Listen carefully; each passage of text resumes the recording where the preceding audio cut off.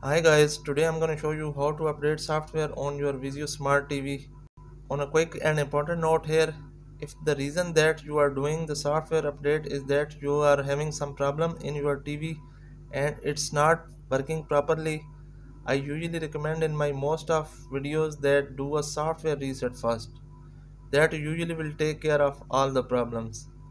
So it may not necessary for updating the software in your TV because after updating the software you will lose your personal settings, accounts info, channel settings and many more store things.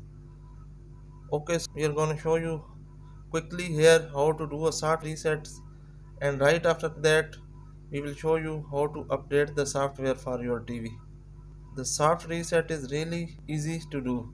All you need is to unplug your TV from the wall Press and hold the power key on the TV for 20 seconds and then release it. Viewers, if the power key is not available on your TV, then wait for 60 seconds and then plug it back. In most cases, this will solve, believe it or not, a lot of your problems. But if this doesn't care of your problem, you can do a software update. To do the update, press menu button or V button on the remote it depends on which model you are using and then system and then select check for updates. Your TV will then check for updates and install them if available. That's our video for today. Thanks for watching. Like it and subscribe our channel. Goodbye friends